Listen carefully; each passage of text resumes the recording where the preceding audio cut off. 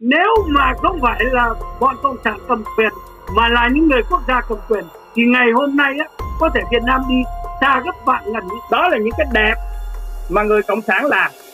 Thì các anh không nói. Còn các anh nói đây là cái tiêu tiêu cực. À, khi anh nói như vậy anh bênh cho cái chế độ cộng sản. Anh xúc phạm tới những người miền Nam. Thì anh nói anh là một cái thằng tôi nói cho anh nghe anh là một cái thằng hồ đồ ngu xuẩn mới là thành đế ông đã. Anh không biết thể nào mà anh nói chuyện được một cách đàng hoàng.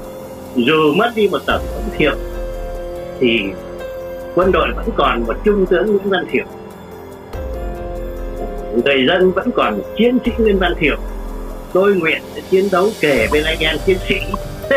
Đấy là lời ông Thiệu nói mà cuối cùng việc ông Thiệu làm là gì? Ngày 21 ông từ chức ngày 25 ông chuồn chẳng ai biết ông chuồn đi đâu cả. Cuối cùng thế là ông qua tới Đài Loan rồi. Tôi làm không đâu cả bởi vì anh nói cái chuyện đó là chuyện thừa. Anh no no. Không phải là chuyện thường. những gì tôi làm cho Việt Nam là một sự đóng góp là một thằng bưng bô cho chế độ Xin kính chào quý khán thính giả nửa vòng trái đất TV. Ngày hôm nay chúng tôi có một buổi cầu truyền hình để kết nối đến 3 điểm cầu. Như quý vị thấy trên màn hình, à, đầu tiên bên trái đó là anh à, Đức Đầu Bạc ở tại à, đầu cầu Austin, Texas. Ở giữa đó là ông à, Vũ Huynh Trưởng, chủ tịch của Hội đồng đại biểu người Việt quốc gia toàn cầu ở tại đầu cầu San Jose, miền Bắc California. À, và cuối cùng bên phải đó là nhà báo Kim Âu Hà Văn Sơn ở tại đầu cầu Atlanta, Georgia. Hôm nay thì chúng ta sẽ có một cái buổi à, hội luận à, câu chuyện tháng 5 À, thì theo dòng lịch sử người Việt khắp nơi vừa trải qua cái à, thời gian 45 năm kỷ niệm cái biến cố à, ngày 30 tháng 4 năm 1975 à, nhưng mà cũng trong cái, cái thời gian này thì à, à, mỗi lần mà nhắc đến những cái biến cố này thì đều có những cái tranh cãi trái chiều. Nhưng mà cái câu nói mà ngày hôm nay chúng ta sẽ à, à có cái buổi hội luận nói đến đó là câu nói à, à, rất nổi tiếng nếu không muốn nói là nhiều người còn cho là bất hủ của cố tổng thống Việt Nam Cộng hòa ông Nguyễn Văn Thiệu. Đó là câu nói đừng nghe những gì cộng sản nói mà hãy nhìn những gì cộng sản làm à, như vậy thì à, à, quay ngược lại lịch sử thì à, vào cái thời điểm mà ông Nguyễn Văn Thiệu nói câu nói đó thì theo như à, quan điểm của ba vị thì lý do vì sao ông Nguyễn Văn Thiệu lại nói như vậy à, theo cái cách suy nghĩ của à, mỗi vị ạ. Bây giờ đầu tiên xin mời anh Đức Đầu Bạc ạ.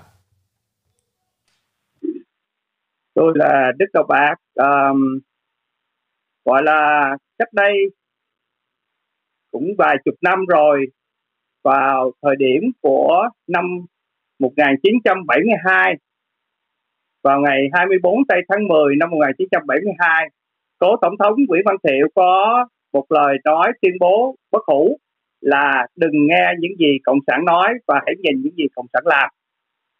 Thì uh, tất cả mọi người trên thế giới ngày hôm nay đều biết câu câu nói đó nhưng nó có một câu chuyện đằng sau lưng của câu nói đó nhưng mà tổng thống Nguyễn Văn Thiệu chưa bao giờ tiết lộ ra cho tất cả mọi người biết trong dịp tổng thống Nguyễn Văn Thiệu về Houston để tham dự đám cưới của con tướng Văn Thành Cao. Chúng tôi cùng ông bà cụ tham dự thì có trao đổi với là tổng thống Nguyễn Văn Thiệu. Tôi có đặt câu hỏi với vào tổng thống rằng lý do nào mà tổng thống nói lên câu nói đó và tổng thống nghĩ gì trong lúc mà tổng thống nói câu nói đó? Thì tổng thống Nguyễn Văn Thiệu có nói với tôi và trước mặt có một số anh em.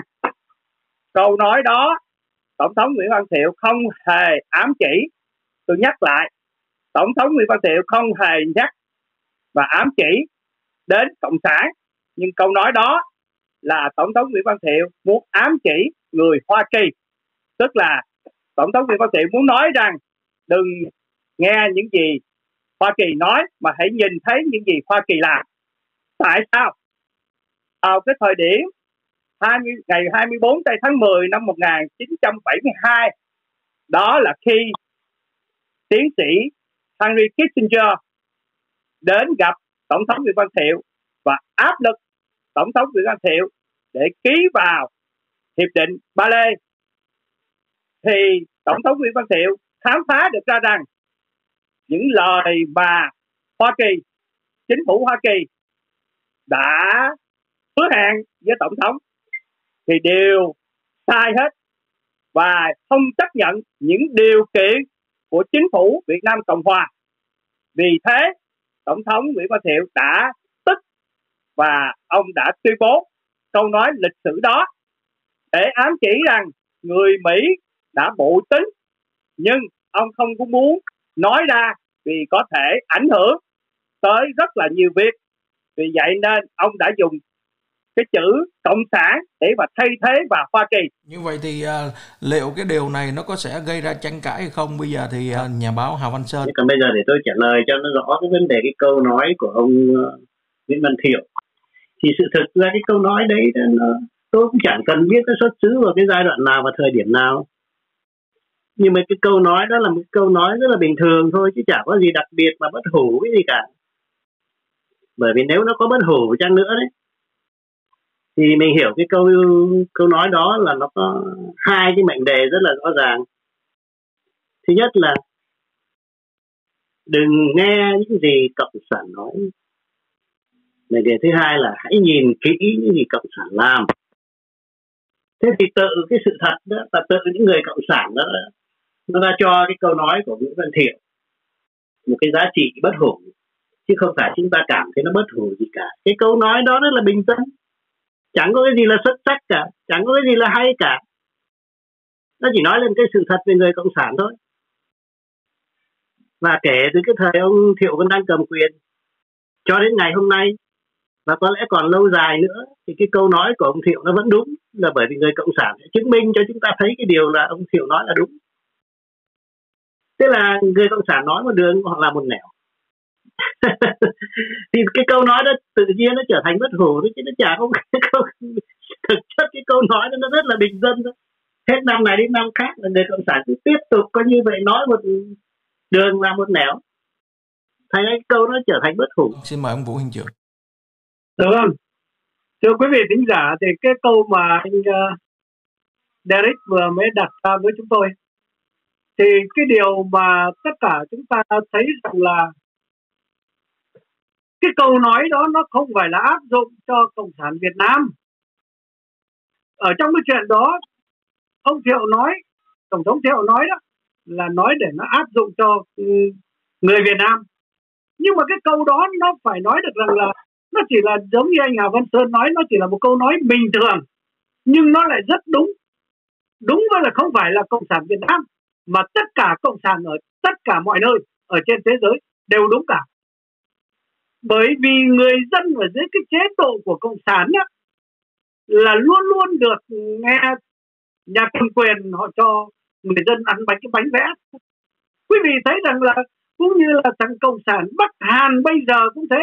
Người dân đói chết mẹ nhưng mà lúc nào cũng là nghĩa là lãnh đạo Kim Jong Un là lo cho dân chúng rồi lúc nào cũng là người lãnh đạo tối cao sáng suốt nhất thế giới hay là này kia thì cộng sản lúc nào cũng là nghĩa là coi như là là là, là uh, cho mình là nhất. Nhưng mà cái điều đó cái sự thực nó không phải là như vậy. Cho nên cái điều cái câu đó thì nó đúng với tất cả mọi người dưới cái chế độ cộng sản.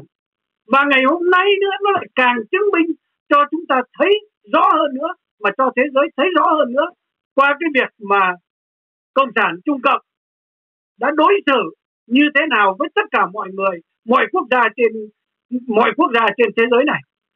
Quý vị thấy rằng là cái thằng cộng sản có bao giờ nó chấp nhận những cái điều nó làm sai, nó nói sai đâu. Cái điều anh nói vừa rồi rằng là ông thiệu, anh có gặp ông thiệu, gặp tổng thống thiệu, để anh hỏi cái chuyện đó, thì cái chuyện đó chỉ có anh biết với ông thiệu và một vài người biết ở trong một cái xó nào đó thôi. Anh đừng có nói anh đừng có nói một cái xó nào anh anh nói chuyện đó anh nói chuyện anh phải nói chuyện đàng hoàng. Anh không thể nào nói chuyện một cái chuyện mà anh chỉ được cái vậy được. câu này cái câu này là tất cả mọi người biết. Ai cũng biết rằng là tổng thống thiệu nói. Mà anh có biết rằng á anh đã nói rằng á là tôi đã nó trình bày với anh rằng tôi tôi gặp gỡ đó là tổng thống Nguyễn Văn Thiệu và tại nhà của ông Văn Thành Cao tướng Văn Thành Cao tôi đã nói anh rất là rõ. Mà anh lúc nào anh nói chuyện á anh cũng dùng mạ. tôi không đồng ý. Tôi nói cho anh biết rằng anh nói chuyện anh phải dùng cái ngôn ngữ đàng hoàng. Anh không thể nào nói là cái số được. Ok nhà của ông văn thành cao. Văn thành cao là một tướng lãnh của quân lực Việt Nam Cộng Hòa. anh tôn trọng những người đó là quyền của anh. Và anh anh tôn trọng anh Bởi nói như vậy. chỉ là ở một cái góc nào đó thôi. Không. Phải là một cái góc một cái góc đó khác. Anh dùng danh từ anh một cái góc nó khác mà một cái số nó khác. Nếu anh muốn cầu học tiếng Việt Nam thì tôi một ngày nào đó tôi sẽ chỉ dẫn cho anh. Lỗi anh. Cái chuyện đó anh không hơn tôi về chuyện đó. Tôi, tôi chắc chắn. Cái đánh giả khán đánh giả sẽ là cái người để mà hiểu được rằng anh là cái to nhưng mà và cái gốc nó khác nhau hai cái chữ đó là khác nhau. Việc với tôi tôi sẽ dạy thôi anh. Đừng nghĩ rằng anh anh nói cho anh hiểu rằng á là anh nói rằng á là người Hoa Kỳ người Hoa Kỳ. Anh nói đang nói cái chuyện là chúng tôi trình bày về vấn đề gì? Chúng ta là những cái gì mà người cộng sản nói thầy nhìn cái chuyện người ta sẽ làm. Anh lại đem qua một cái chuyện của người mỹ. Vậy tôi hỏi anh anh mới là ở trong người mỹ người mỹ họ tham chiến. Vào cái chuyện của ai đó. Họ nói rằng ông Saddam Hussein có võ khí nhưng mà bây giờ có võ khí hay không? Người mỹ cũng gian dối. Vì vậy nên bây giờ chúng ta nếu mà anh nói rằng chúng ta bàn cãi về vấn đề Việt Nam thì tôi sẽ ngồi đây tôi nói chuyện với anh về Việt Nam. Nếu anh đổi đề tài anh đổi đề tài sao tôi không đổi đề tài. Anh, anh vừa mới đổi đề tài anh vừa mới nói qua một cái đề tài. không đúng vào câu hỏi no trả lời không đúng vào bây giờ thì câu hỏi tiếp theo thì à, nếu mà chương trình không lầm đó thì cái câu nói này lại nổi được nhiều người nhắc đến nếu mà không muốn nói là nổi tiếng đó, sau cái à, ngày 30 tháng 4 năm 1975 mà đại đa số những người ở hải ngoại nói rất nhiều. Thì à, à, theo như quý vị là vì sao sau 30 tháng 4 cái câu nói đó nó lại nổi tiếng mà được nhiều người nhắc như vậy. Và thường những người hải ngoại khi nói đã, nói đến câu này đó là cái ý của họ là muốn à, à, ám chỉ à, những cái xấu mà họ nghĩ về cộng sản Việt Nam. À, thì à, à, theo như quý vị là vì sao? Bây giờ đến đầu tiên đến lượt à, sẽ là nhà báo Hà Văn Sơn. Những cái người đi ra họ nhớ kỹ lắm họ nhớ kỹ nhất là cái ngày 30 tháng 4 mà người cộng sản vào đấy thì kêu gọi có như vậy là anh em ngụy quân ngụy quyền là buông súng rồi là à, trình diện à, tất cả mọi cái à, chính quyền cách mạng rồi khoan hồng nhân đạo gì đó vân vân và vân vân. Nhưng mà rồi cuối cùng thì thực tế nó trả lời rằng có như vậy chẳng hề có khoan hồng cái nhân đạo nào cả và khi mà họ vào họ nói rằng họ giải phóng nhưng mà cuối cùng thì họ giải phóng hết tất cả hàng hóa của cải rồi nhà cửa cái như vậy là của đồng bào Sài Gòn. Coi như là mười mấy triệu dân. Tống cổ đi kinh tế mới. Rồi hàng ba mươi mấy ờ, ngàn cơ sở như vậy là sản xuất kinh tế đó, là bị coi như vậy là đánh tiêu tùng. Tức là tất cả đều là bị hủy giáo trụi rồi của cải thì có như vậy là bị có như vậy là nhân danh quốc hữu hóa vơ vét hết. Thế thành ra những cái mối hận đó là người ta đâu có quên đâu. Người ta nhớ kỹ rằng đấy những ông cộng sản nó nói một đường, nó là một đẻo. Và ông thống nhất và hòa bình, nhưng mà ông là cứ coi như vậy là là ngấm ngầm, ông lụi cho người dân ở Sài Gòn. Coi như vậy là những mũi dao rồi coi như vậy là là thổi lửa và đốt nhà ở Sài Gòn không à? Làm sao mà người ta có như vậy ok được những người cộng sản mà người ta không coi cái câu nói của ông thiệu là bất hủ. Thì câu nói đó như tôi nói nó rất tầm thường nhưng mà nó trở thành bất hủ. Thì bây giờ những người cộng sản trong nước muốn cho cái câu nói đó nó không có tác dụng nữa, thì quý vị cứ nói cái gì quý vị làm cái đấy cho nó tốt đi. Thì chúng tôi ngồi đây chúng tôi nhìn, chúng tôi cũng thấy mà nếu quý vị làm tốt thì chúng tôi sẵn sàng khen thôi chẳng có cái gì cả. Quý vị làm tốt chúng tôi nói ok, quý vị làm tốt đấy làm tốt nữa đi. Nhưng mà quý vị làm tốt một thì quý vị phá mười nữa thì nó lại hóa ra là câu nói của ông thì lại cứ tiếp tục đúng và lại cứ tiếp tục coi như vậy là người, người ta tôn lên là cái câu nói bất hủ nữa. Chỉ có vậy thôi.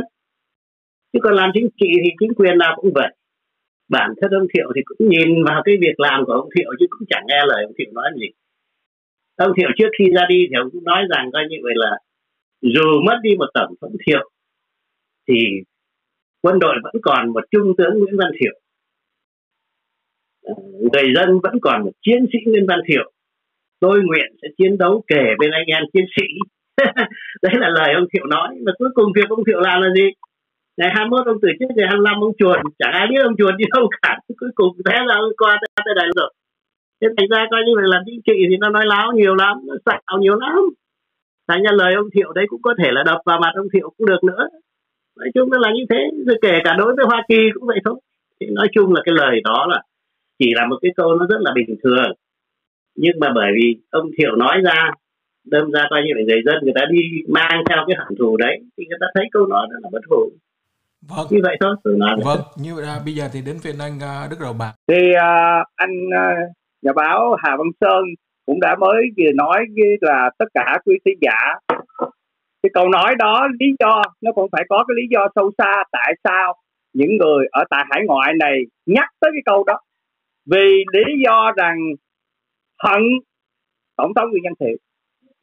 Vì tổng thống nguyễn văn thiệu biết cái hiệp định paris năm 1973 ông biết cái điều đó và ông muốn ra đi. Nhưng ông đã bán đứng miền Nam Việt Nam. Ông trốn đi. không hề gọi là cho tất cả người dân biết bao nhiêu triệu người đã bị lao tù. Thì những người đó, người ta có phải hận không? Hận. Vì như thế mà người ta muốn nhắc nhở cái câu nói đó. Và cái câu nói đó đã được nhắc lại rất là nhiều khi tổng thống Nguyễn Văn Thiệu ghé qua San Jose để có cuộc họp báo và nếu mà anh Vũ Anh trưởng ở trên đó thì anh chắc anh biết cái ngày đó. Và cái ngày đó là những người mà là đã từng vượt biên, đã từng có người chết ở tại biển đông. Những người đã bị cầm tù mà hận hận ông ông thiệu. Vì vậy nên người ta muốn nói, người ta muốn ám chỉ, xéo cái câu nói đó. Ông thiệu nói, nhưng mà ông thiệu không có làm chứ không phải là cộng sản. Cộng sản có làm điều tốt, có làm điều xấu, như là anh Hàng Văn Sơn nói. Có chứ, có những điều tốt, nhưng mà chúng ta chỉ nhìn thấy cái điều xấu thôi. Câu đó câu đó nó rất bình thường. Không có gì đặc biệt hết. Nhưng người ta, khi người ta đặt cái câu nói đó, người ta có cái hàm ý ở trong đó. Mỗi người đều có hàm ý.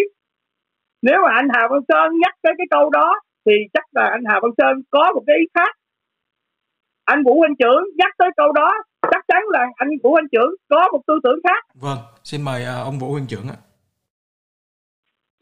Thực sự để nói cái vấn đề này đó thì tôi nói thật rằng là nói chuyện với lại đức đầu bạc thì tôi nghĩ rằng là bạch đầu gối lên nói chuyện nghe thích hơn. Câu nói của ông Nguyễn Văn Diệu là tất cả người dân ai cũng nghe và cũng nói. Cái điều thằng cộng sản đó thằng Việt Công đó nó nói á nếu mà nó làm đúng á người dân người ta không có người ta không có tin vào đó để người ta chửi nó. Nhưng mà nó nói với lại tất cả các anh em quân đội Việt Nam Cộng Hòa cũng như các chức sắc á, là nó nói quý vị chuẩn bị gạo đi 10 ngày cải tạo. Rồi đi bao nhiêu? 10 năm 15 năm 17 năm. Và chết ở trong trại tù. Cái điều đó làm cho mọi người nhớ muôn đời cái câu của ông Thiệu nói cái điều đó nó đã xảy ra. Lúc đó đức đầu bạc không có ở nhà. Ông Hà Văn Sơn đang ở trong tù. Cái chuyện lúc đó chúng tôi đang sống ở Việt Nam. Và tất cả những anh em, cựu quân quan chức, cũng như là quân đội Việt Nam Cộng Hòa là những người hứng chịu và là những người chứng nhân rất là rõ về câu nói đó. Cho nên cái điều đó, người ta mang theo tất cả. Và miếng ngon thì nhớ lâu mà điều đau thì nhớ đời và cái chuyện đó cho nên rằng là bất cứ những cái gì cộng sản nói ra đều là thấy nó wrong, nó sai, không bao giờ nó giữ lời cả. Quý vị nhìn lại ở trong nước bây giờ đi. Cái điều đó chúng ta thấy rằng là đó, đối với người dân cũng vậy. Thằng cộng sản thằng việt công nó nói rằng là chúng tôi không đồng đến cây kim sợi chỉ của đồng bào. Đúng rồi, nó đâu lấy cây kim sợi chỉ làm gì? Nó lấy cả cái nhà chứa cả tỷ cây kim nó lấy cả đất của người ta. Những cái gì nó thấy khu đó đẹp là quy hoạch là lấy. Cái điều đó chỉ có đất đầu bạc mới không nhìn thấy thôi. Còn tất cả mọi người dân ai cũng thấy cả. Cái chuyện đó, đó cho nên cái vấn đề mà nói chuyện chúng ta phải nhìn thấy. Chúng ta không phải là phải về tận Việt Nam mới nhìn thấy điều đó.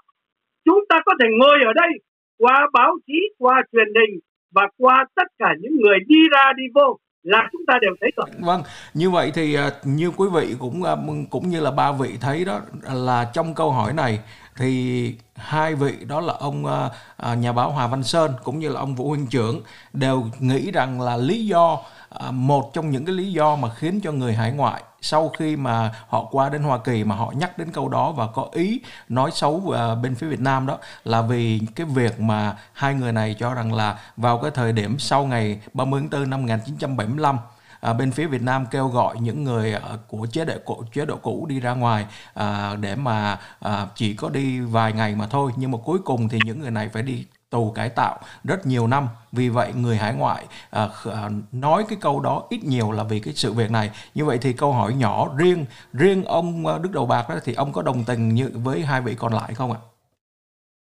Tôi không có đồng tình à, đối với quý vị.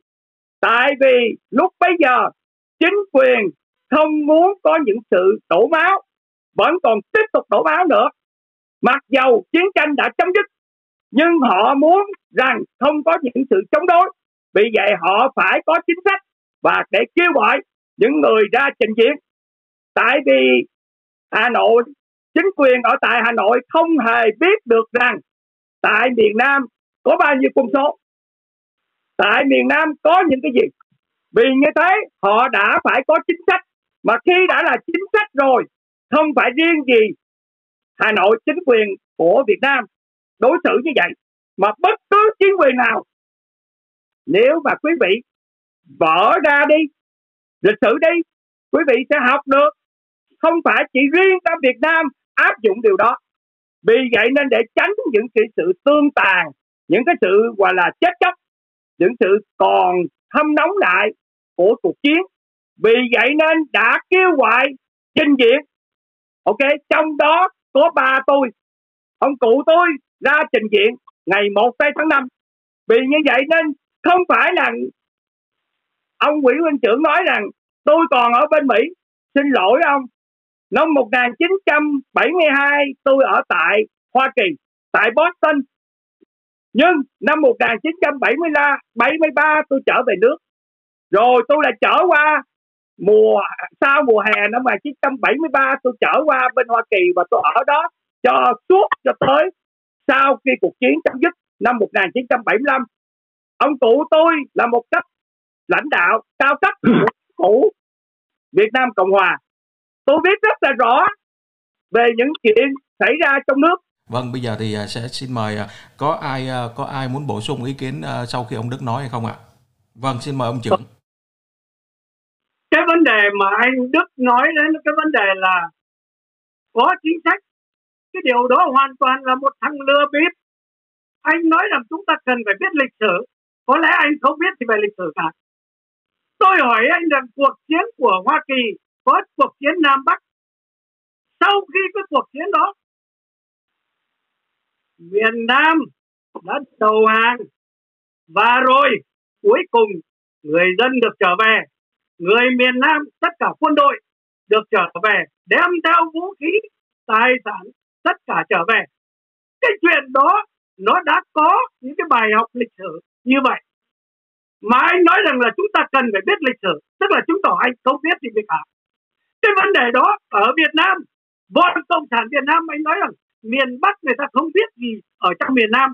Cái đó là anh là một thằng dốt anh nói như thế đó, anh không thể mà thay thế cho nhà nước Việt Nam được. Bởi vì bọn cộng sản là cha của sự dối trá. Cái điều đó anh phải biết như vậy. Anh cứ ngồi đây để anh khoe rằng ông già anh làm lớn hay là ông già anh làm cái này cái khác. Chuyện đó vứt đi chuyện đó không đáng kể. Bởi vì á ông già anh làm lớn mà có những thằng con như anh là đem vứt đi. Anh này anh này bắt đầu anh này bắt đầu để nói tôi anh anh tôi nói cho anh nghe vậy nè. tôi tôi không muốn là anh tôi anh phải tôn trọng. anh còn còn tiếp tục mà nói theo cái kiểu đó nữa. Tôi sẽ chấm dứt và không bao giờ. nói chuyện anh nói chuyện đây anh có thể nói chuyện về cá nhân tôi nhưng mà anh không có thể nói chuyện về gia đình tôi anh không thể nói chuyện về bố tôi. Tôi đâu có biết. Ông anh không biết là cái chuyện của anh. không cần biết. Anh không cần biết thì cái chuyện đó là của anh cái chuyện của tôi đây là tôi là một khách mời. Tôi trả lời cho anh nghe nè tôi là một khách mời của nửa dòng trái đất. Bởi vì anh nói anh là một cái thằng tôi nói cho anh nghe. Anh là một cái thằng hồ đồ. Ngu xuẩn mới là thành đế không đã anh không thể nào mà anh nói chuyện được một cách cách đằng. Anh nói được cái người không hiểu cái gì cả vâng vâng xin, vâng xin hai vị giữ bình tĩnh à, vâng xin mời nhà báo Hà Văn Sơn có muốn bổ sung hay không ạ? thì mặc áo cà sa và đi tôi nói anh anh anh anh, anh tôi không nói với anh nữa vâng vâng vâng xin để cho nhà báo Hà Văn Sơn uh, nếu mà trưởng muốn... ngưng để cho tôi nói. Okay. tôi ngồi để nhìn thấy hai vị cãi nhau như vậy là nó không có đúng cái trọng điểm nói chuyện. Mình cũng không nên coi như vậy là uh, tấn công cái cá nhân nhau. Ở đây trước tiên là mình phải nói về cái vấn đề coi như vậy là cái cái cái chủ đề của chúng ta nói cái đã ha và chúng ta muốn nói qua cái đó chúng ta nêu bật lên cái gì thì cái đề tài hôm nay là nó cũng đã rõ lắm rồi. Tức là ông thiệu câu nói của ông thiệu là ông nói về những cái hành động của người cộng sản. Thế thì chúng ta nói về cái hành động của người cộng sản ta cứ dựa trên hai cái mệnh đề đó ta nói là nó cũng đủ thâm thía lắm rồi. Thế còn những cái chuyện mà vài lề chúng ta tấn công nhau là, cái chuyện không với nhau thì lại càng không nên tham dự một cái buổi thảo luận với nhau làm gì. Đó nhưng mà khi mà nói hội luận á, thì chúng ta phải giữ một cái tư thế nó rất là rõ ràng không nên coi như phải tấn công về cá nhân nhau. Nếu người ta có nói cái điều gì mình không có hài lòng lắm thì mình nhắc nhở bởi vì là không nên nói cái chuyện đó. Thì như uh, ông Đức không nên nói về những cái chuyện mà bí mật riêng ông mới biết thôi. Hoặc là hoặc như là anh trưởng không nên nói là kéo lên cái đầu gối ai mà chả có cái đầu gối đúng nào? Ai nói với nhau cái câu đó mà chả được đúng nào? Mình nói cái câu xấu xấu xí với nhau thì nó dễ lắm nhưng mà làm sao mình nói chuyện để mà làm sáng tỏ một cái vấn đề? Là cái vấn đề đó nó xuất phát từ cái chỗ rằng người cộng sản là hay nói dối. Tức là nói một đường mà làm một nẻo thì mình nói làm mà như vậy. Ừ. thì nó đúng là như vậy. Thì mình không nên cãi nhau về những cái chuyện lặt vặt khác nó hỏng chuyện đi. Thì ông Đức ông ấy, ông ấy, ông ấy có thể là ông tiếp xúc với ông thấy người cộng sản có những nét nào đó cũng được. Ông ấy có quyền bênh vực nhưng mà không vì cái bênh vực của ông Đức là anh Sơn anh cho tôi nói cái này này. Anh nói với tôi á những cái chuyện đó tôi có cái anh không? Ừ. nhưng mà ông Đức nhưng mà anh anh nói thì anh nói nhưng mà anh không được xúc phạm. Tôi đâu có xúc phạm tới anh đâu. Tôi không nói về cá nhân anh. Tôi không hề nói gì về cá nhân anh. Tôi cũng không hề nói gì đụng chạm tới gia đình của anh. Anh nói chuyện anh là một khách mời cũng giống như tôi cũng Đúng. giống như anh sơn. Anh nói về đề tài. Anh lại xúc phạm tới tôi. Anh tôi anh, anh, anh có anh có thể có cái thành kiến với tôi đồng ý. Nhưng anh không thể xúc phạm với tôi. Anh muốn xúc phạm với tôi. Anh khi nào một mình tôi và anh thì anh muốn nói gì nói. Tôi sẵn sàng. Nhưng mà đây là anh phải tôn trọng cái đài nửa dòng trái đất. Họ mời tôi anh và đâu. tôi của gia nà con sơn lên đây để trình bày một câu chuyện một đề tài. Thì mình chúng ta giống như là anh sơn vừa mới nói chúng ta nên vào trong cái đề tài đó. Tôi đồng ý. Anh không thể nào Nhưng anh mà... xúc phạm anh xúc phạm tới tôi. Anh nên nhớ điều này à. Tất cả khán thính giả của nửa dòng trái đất hay là các thính giả của các đài khác đều biết cá nhân của vũ anh trưởng đều biết cá nhân của đức đầu bạc và đều biết cá nhân của hà văn sơn. tôi. Tôi không bao giờ. tôi rất là tôn trọng. anh nên nhớ rằng tôi tôn trọng. Vực cho những cái tên gian xảo anh nên nhớ rằng cái chuyện bên vực cái đó là quyền của tôi. À, khi anh nói như vậy anh bênh cho cái chế độ cộng sản anh xúc phạm tới những người miền Nam thì anh để anh để tất cả những người miền Nam đó nói vâng, những người Việt Nam khán giả khán giả khán giả khắp nơi khán giả khắp nơi sẽ đánh giá cái câu nói của ông Đức Đầu Bạc anh cứ yên tâm ạ. À. Vâng, bây giờ câu okay. nói câu hỏi tiếp theo. Okay. Vâng, à, như vậy thì à, ít nhiều trong ba vị cái câu hỏi vừa rồi thì có hai vị đồng quan điểm à, một vị còn lại thì không có đồng quan điểm. À, có một cái suy nghĩ khác chúng ta sẽ tôn trọng mỗi người. Nhưng mà bây giờ nói vào cái thời thời điểm hiện tại thì như quý vị thấy đó là vẫn còn một cái bộ phận người hải ngoại. Nếu như mà không muốn nói là có khuynh hướng chống cộng đó thì họ vẫn thường dùng câu đó để mà ám chỉ à, theo như họ là cái điều đó không tốt của bên phía nhà nước Việt Nam. À, nhưng mà ngược lại rõ ràng chúng ta thấy đó là có một cái bộ phận ở trong nước trên mạng xã hội lại dùng cái câu đó à, nói lại với người hải ngoại mà nói với những người chống cộng đó là cái câu nói đó không khác gì là đừng có nhìn những gì cộng sản nói mà hãy nhìn vào những gì cộng sản làm cho đất nước giờ đây à, giàu đẹp như là họ nghĩ. Thì à, theo như theo như quý vị đó người trong nước có thể dùng cái câu nói đó để mà phản biện hay một cách dí dỏm à, để mà phản biện lại những người chống cộng hay không? Và nếu có hay không là vì sao? Thì bây giờ xin mời đến phiên à, anh Vũ huynh trưởng trước ạ.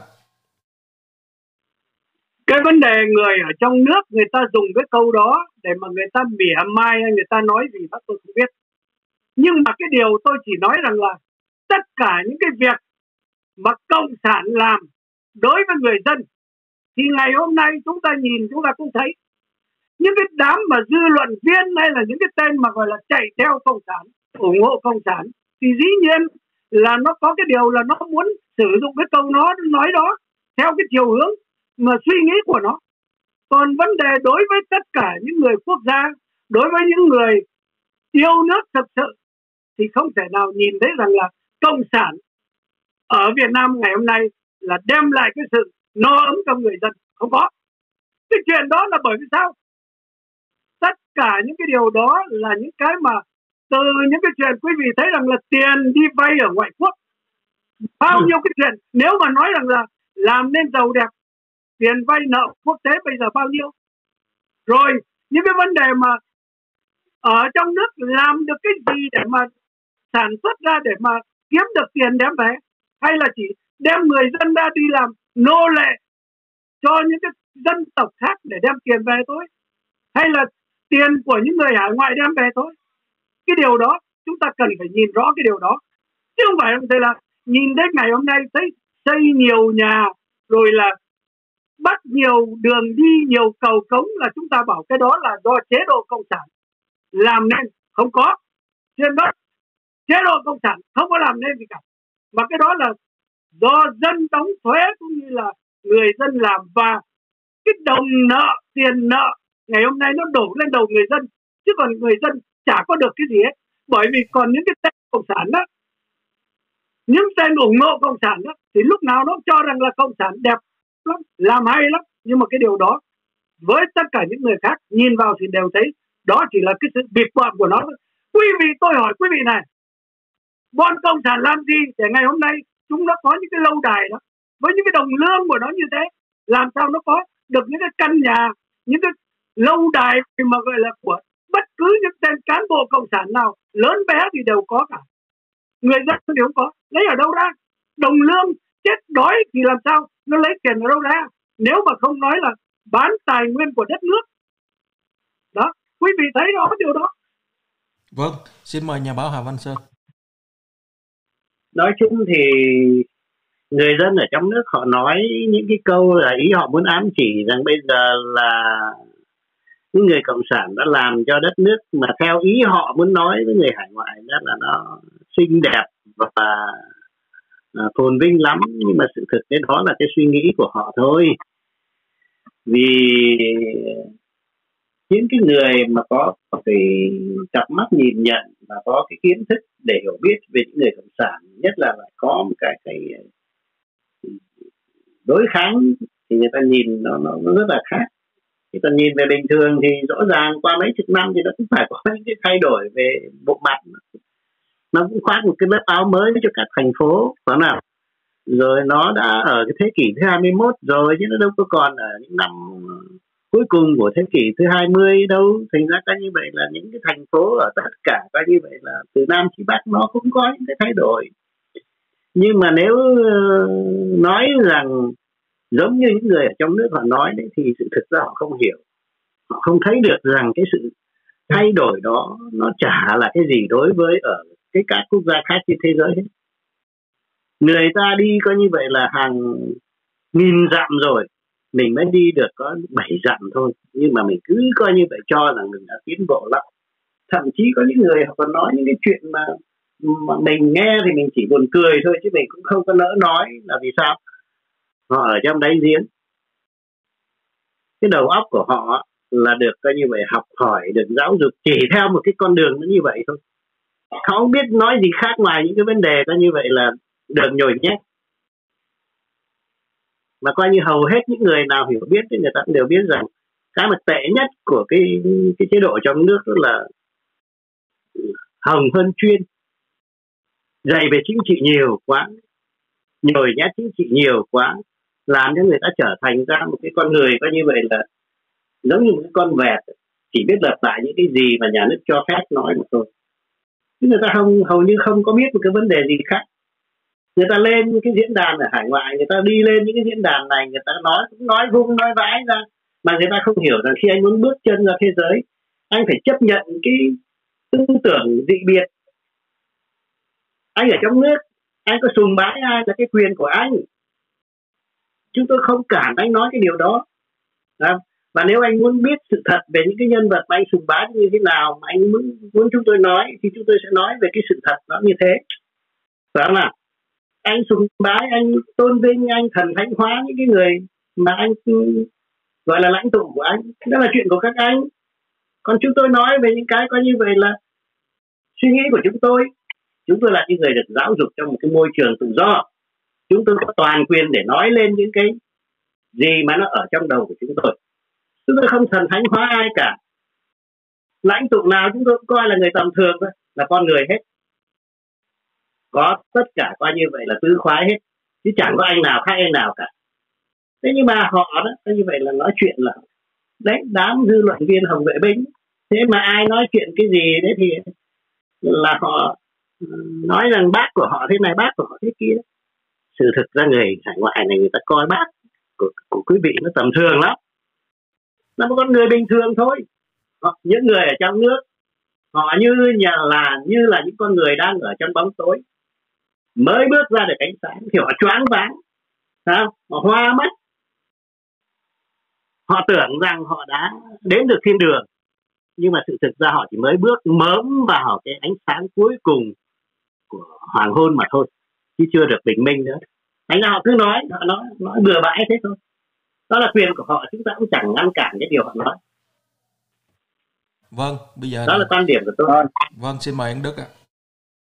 À, như là hai quý vị vừa mới nói nhất là anh Hà Văn Sơn vừa mới trình bày đó là các anh tôn trọng ý kiến đúng không?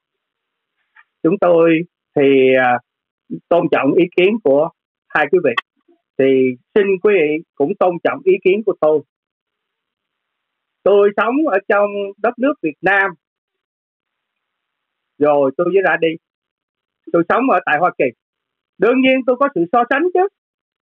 Và quý vị thấy tất cả, tôi nói đây quý vị, tôi không muốn nói là anh Hà Văn Sơn hay là anh Vũ Văn Trưởng, mà tôi nói đây là quý vị sống ở tại Hoa Kỳ quý vị ra ngoài bất cứ ngoài ngôi chợ nào, quý vị ra bất cứ ngôi cửa hàng nào, quý vị cũng đều thấy hàng made in Việt Nam. Và tôi đảm bảo rằng ở trong tủ nhà của quý vị đều có hàng của made in Việt Nam. Vậy thì nước Việt Nam ở đâu vậy? Mà có hàng. Hàng năm, nước Việt Nam xuất cảng ra trên thế giới rất là nhiều hàng hóa. Ngày xưa, lúc mà tôi mới lớn lên tôi nhìn thấy cái chiếc xe La Đà Lạt đầu tiên của Việt Nam làm mẹ tôi với mua, đem về là tại vì vấn đề gọi là ngoại giao thì mua. Chiếc xe La Đà Lạt đó nó chỉ có chiếc ghế của cái người tài xế thôi. Còn cái ghế bên cạnh đó là option, tức là muốn mua thì phải có, chứ đừng nói là cái ghế đằng sau nữa.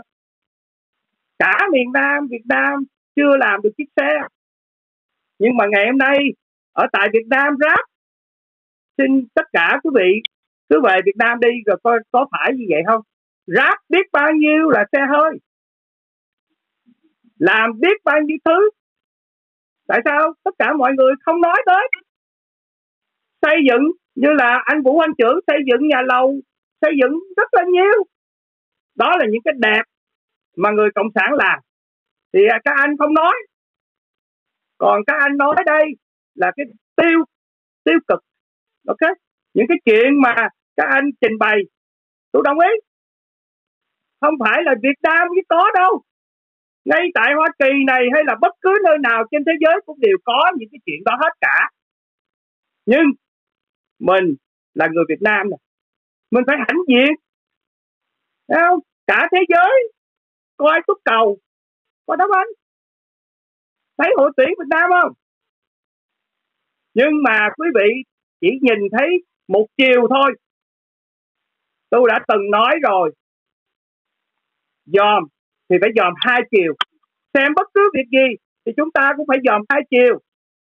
Người trong nước, như câu hỏi của anh Derek, nói rằng mỉa mai mỉa mai cho những người ở tại hải ngoại này.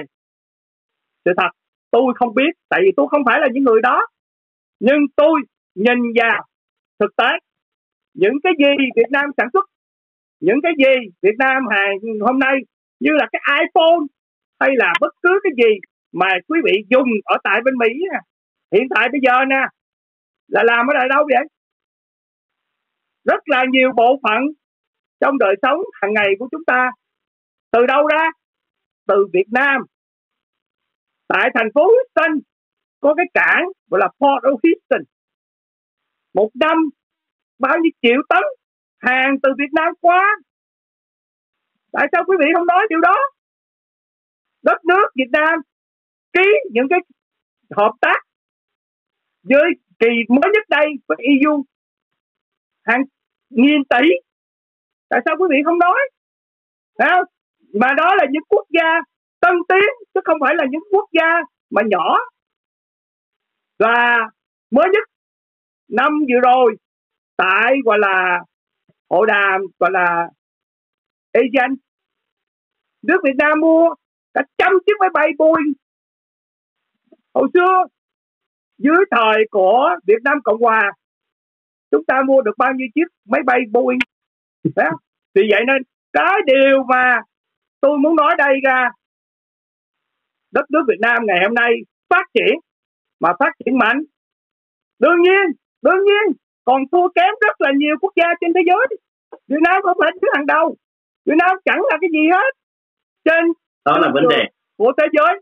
Nhưng mình phải xác nhận rằng là Việt Nam có những điểm đẹp có những điểm tốt. Quý vị phải nhìn nhận điều đó. Đừng nói về cái vấn đề tiêu cực về cái bề trái của Việt Nam, bất cứ nước nào cũng đều có hết. Cũng đều có nghèo, cũng đều có đói, cũng đều có này nọ hết. Nhưng, quý vị dòm đi.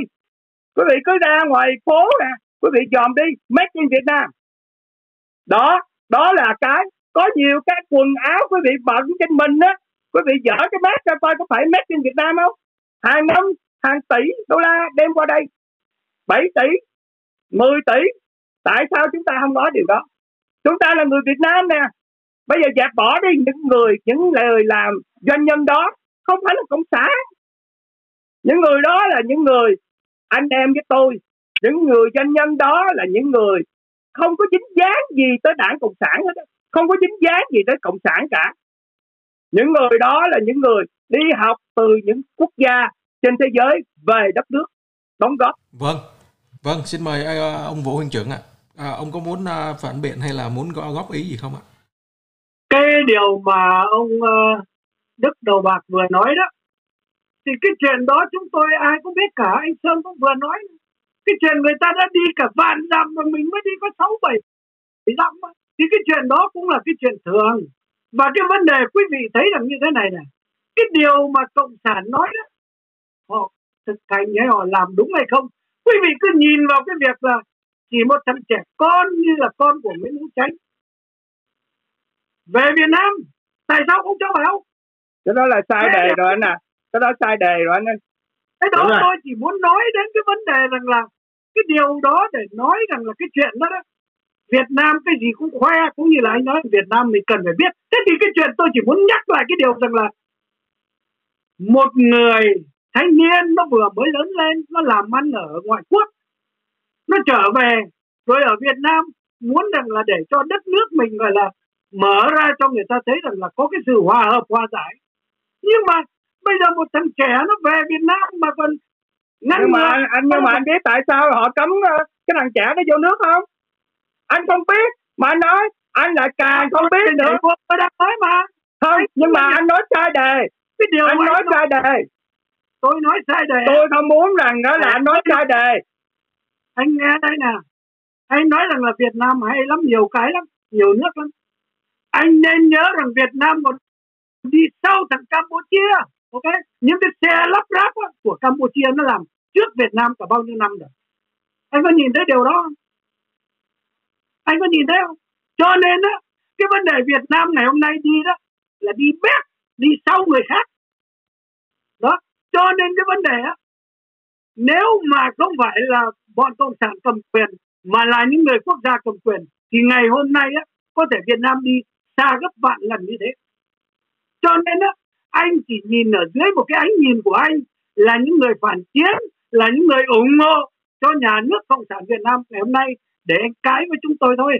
Còn cái chuyện mà nếu tôi để, tôi không có cãi với anh trong đây tôi nói với bán chính giả để mà so cái, đó. cái điều đó thì chúng ta cần phải nhìn vào cái thực tế chứ không phải là tôi tôi nói rất là thực tế. Cái kẻ mà ngồi ếch ngồi đáy giếng nhìn lên chỉ thấy ô trời thôi đấy. Thì cái đó cũng là quyền của anh. Còn bây giờ đó nếu mà cãi với anh thì nó cho đến muôn đời không bao giờ mà mà nó hết được. Vâng, là bởi vì nói tôi à, tôi đâu tôi đâu có cãi với anh đâu. Tôi tôi, tôi là tôi là một người khách mời. nghe nó chướng tai quá thì cái lý luận của tôi có chướng tai á là kháng tính giả. tôi nói này cho anh vũ anh trưởng nghe. Cái của tôi mà nó có thì kháng tính giả của người dân đất giữa dòng cái đất đủ để cho anh xài và anh hãnh diện về điều đó thì nên về Việt Nam sống đi. Có gì đâu có ai bắt anh phải ở Mỹ không? Tôi ở đây ông tôi tôi, tôi đâu có nói với anh rằng á là tôi hãnh diện rồi tôi phải về Việt Nam. Tôi hãnh diện hay không thì cứ đi. Còn cái chuyện mà anh ở đây á anh nói cũng như là anh bảo rằng là ông triệu ông mới nói là cái đó là để ý nói là để chửi xéo mỹ. Xin lỗi anh chuyện đó chỉ có anh nghe thôi. Và Được một rồi. vài một vài Được rồi cái chuyện đó cái chuyện đó đó. rồi anh sẽ nói để cho mọi người nghe chuyện đó là cái chuyện vứt vào một xó là bởi tại sao? Bởi vì ông thiệu ông không nói chuyện đó với mọi người. Ông không ông không muốn nói cái chuyện đó mọi người lý do rằng tôi nói cho anh hiểu rằng tại vì anh anh đem cái đề tài đó lên. Đó là lý do tại sao năm 1975 ông Thiệu rời khỏi Việt Nam mà phải đi ăn lê. Ông Thiệu không được vào nước Mỹ và điều đó ông Thiệu rất là buồn. Bà Thiệu sau vài năm mới được vào và ở tại Boston, nơi mà tôi đi học. Vì vậy nên anh, vì anh có những cái ý kiến gọi là rất là chặt hẹp anh chỉ nghĩ nó như vậy thôi. Anh không có thấy nói anh. chuyện khác. Mỹ vì vậy năm. Anh ở năm chục năm thì tôi cũng ở bốn chục năm. Không thì, thì có thể anh ở tôi nói này nè có thể anh ở bốn chục năm ok? Nhưng mà có thể có một đứa trẻ nó ở 10 năm nhưng mà nó nó khá. Có người ở bốn chục năm không khá. Anh anh phải hiểu năm chục năm chả làm cái tích sự gì cả. Tại sao anh biết là tôi không làm tích sự gì anh chỉ là được bênh với thằng Việt Cộng thôi chứ được cái đâu anh sai anh Còn sai làm nhiều lắm. không làm gì hả? Tôi làm nhiều chuyện. Anh làm cái gì anh nói cho tôi nghe cho đất nước Việt Nam đi. Anh tôi, tôi chỉ hỏi anh là anh làm cái gì cho đất nước Việt Nam? Nếu bây giờ anh nói rằng anh làm bây giờ tôi chỉ hỏi một chuyện nhỏ thôi. Anh làm cái gì cho đất nước Việt Nam? Tôi đã giúp cho nhiều người nghèo ở Việt Nam. Okay. à well, cái anh giúp cái người nghèo ở tại Việt Nam đâu có phải là cái việc làm cây gốc đâu. Một triệu người người ta làm điều đó. Anh xây dựng anh, gì? anh hỏi tôi tôi trả lời cho anh nhé. Anh điều đó điều đó. làm cái này cái kia cho Việt Nam anh làm cái gì? Bây giờ anh muốn nghe không? Anh muốn nghe tôi nói tôi làm tôi cái gì không? cả bởi vì anh nói những chuyện đó là chuyện thừa. Anh no no. Anh không phải là chuyện thường. những gì tôi làm cho Việt Nam là một sự đóng anh góp. là một thằng bưng bô cho hiện nay. Anh lại anh lại ba lát nữa rồi. Tôi đã nói với anh rằng anh có thể khác biệt với tôi nhưng mà anh không thể xúc phạm tôi được. Anh tôi, tôi đã nói tôi cảnh cáo anh rồi. Anh đi đến đây anh là khách mời ok? Anh là khách mời. tôi không có nói rằng anh là thằng bưng bô. Anh vâng. không nên xúc vâng bây giờ thì anh uh... có những điều mà mình thấy rằng mình nghe được mình hiểu được cái đó đó quý vị tới đây. Vâng, vâng, vâng. quý vị tới đây là để trình bày. Thứ nhất là quý vị tới đây để trình bày với kháng tính vâng, giả vâng. của nửa dọc cái đất. Vâng bây giờ thì uh, vâng. vâng bây giờ thì uh, cái câu hỏi tiếp theo đó để cho tăng thêm cái phần thú vị thì chúng tôi sẽ uh, dựa trên những cái gì mà ba vị uh, từ đầu chương trình đến giờ uh, trả lời đó. Chúng tôi sẽ đặt cái câu hỏi riêng cho từng vị để cho nó thú vị và hấp dẫn hơn thì uh, cái câu hỏi này như sau uh, đầu tiên câu hỏi này sẽ dành cho uh, nhà báo Hà Văn Sơn với những gì mà từ đầu chương trình đến giờ chúng ta nói đó thì thấy rõ ràng là có hai bộ phận nói đến cái câu nói nổi tiếng này của ông Nguyễn Văn Thiệu. Bộ phận những người ở hải ngoại đó thì nói theo cái chiều hướng là chê bên phía Việt Nam, nói xấu bên phía Việt Nam. Nhưng mà ngược lại giờ đây trên mạng xã hội có những người ủng hộ Việt Nam, những người ở trong nước đó, ủng hộ Việt Nam, ủng hộ chế độ thì lại dùng cái câu nói này để cho người hải ngoại thấy đó. Quý vị nói với cộng sản như vậy đó nhưng mà quý vị hãy nhìn cộng sản làm được cái này cái a cái b cái này thành công là hai cái chiều hướng trái ngược nhau. Như vậy thì nếu như được hỏi nhà báo Hà Văn Sơn là chưa nhắc đến những cái mà Việt Nam xấu hay chưa làm được thì theo như ông à, những gì mà Việt Nam làm được và ông công nhận là họ thành công trong cái thời gian vừa qua. À, nhất là khi mà ông về đến Việt Nam trước Tết 2020 vừa rồi thưa ông? Những cái điều mà tôi nói về cái như vậy là thành phố Sài Gòn và Đà Lạt đó, chứ cũng không phải là nói toàn diện cả cái đất nước Việt Nam đâu. Và tôi nói là tôi chỉ nói về cái diện mạo của Sài Gòn và cái diện mạo của Đà Lạt thì nói chung là nếu mà so với cái thời trước ấy, thì rõ ràng là cái Sài Gòn của thế kỷ thứ 21 này là nó phải hơn cái Sài Gòn của thế kỷ thứ 20 thì đó là cái câu trả lời nó rất là nhiều ông Đức cũng đã phân tích. Về tôi là khi tôi nói chuyện thì cái câu đó là một trăm nghìn người về hay một triệu người về hỏi Sài Gòn thế nào thì người ta cũng nói nó như thế. Thì cái điều đó nó chưa đủ nó chưa đủ để cho người trong nước có thể dùng cái câu như vậy là nói rằng hãy nhìn những người gì những người cộng sản làm là tôi cũng đã nói rồi. Hiện nay những người cộng sản mới đi được có bảy dặm thôi. Trong khi người ta đi hàng vạn dặm rồi, mà mình cứ tưởng rằng mình có như vậy là ờ, là so sánh được với người ta. Mà cái này là thực tế, tôi đã nghe người ta nói, và người ta ăn nói một cách rất là bừa bãi, mà tôi nghe tôi phát buồn cười. Người ta nói rằng coi như vậy là bây giờ là Việt Nam là giàu hơn, người ở Việt Nam giàu hơn coi như vậy là Việt kiều. Trời ơi là trời rồi coi như vậy là ở Việt Nam bây giờ là coi như vậy ờ, hơn là những cái người mà ở bôn xa coi như vậy là chống cộng cực đoan nhiều. Nhưng mà những cái chuyện đấy thì họ nói rằng mà họ không có hiểu gì về cái nước Mỹ này hết.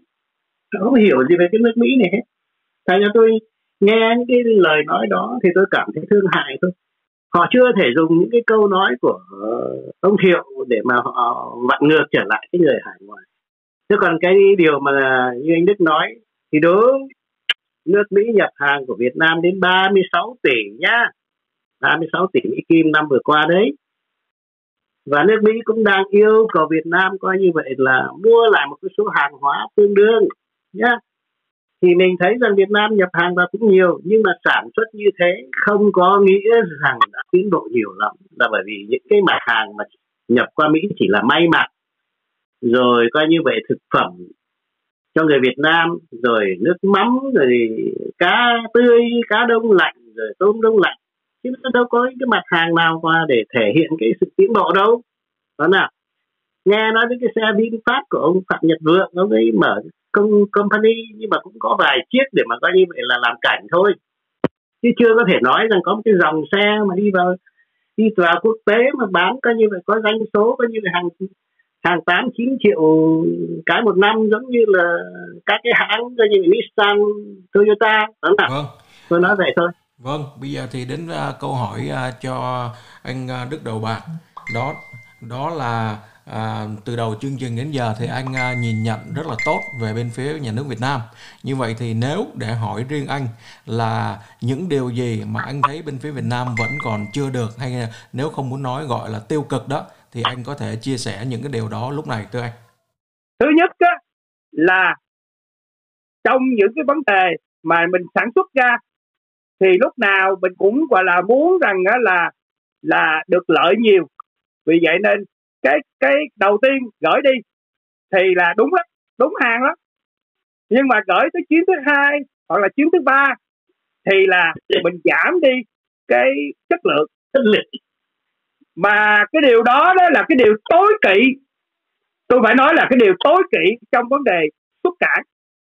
Thì ngày hôm nay, nếu mà muốn vào cái thị trường của Hoa Kỳ, hoặc là thị trường của Âu Châu EU thì phải thay đổi, phải sửa những cái điều đó lại.